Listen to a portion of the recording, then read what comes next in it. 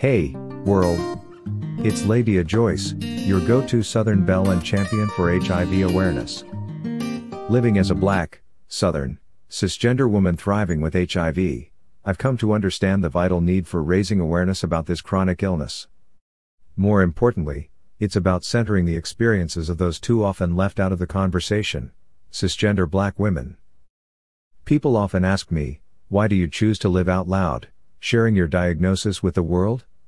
Simple, because representation matters. I vividly recall the night I received my diagnosis. Staying up past midnight, I scoured the internet, seeking reflections of myself, a millennial black woman. To my dismay, there was nothing. No platform, resource, or website that mirrored what I now faced in the mirror.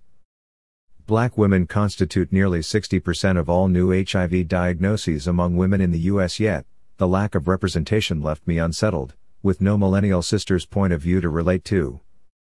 Frustrated by the absence of relatable stories, I made a vow.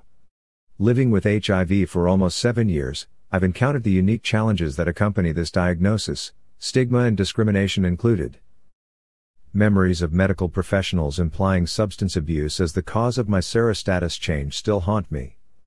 It's these experiences that fuel my commitment to educate and advocate. Misconceptions and stigma surrounding HIV persist, and it's high time we dismantle them. With transparency, I share my story to show that thriving with HIV is not only possible but achievable.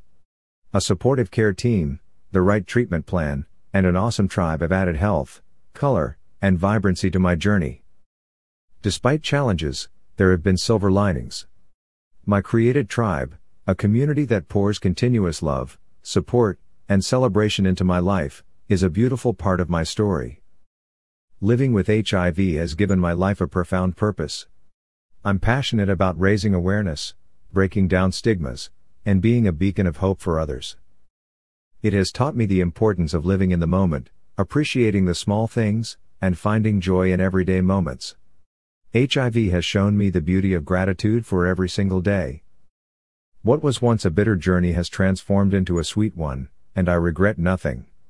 HIV has molded me into a resilient, strong, and persevering individual.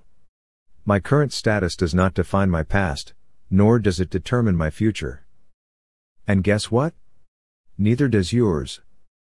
Remember, always be real be relevant, and be righteous. Subscribe for more empowering stories and education. Let's break down barriers together.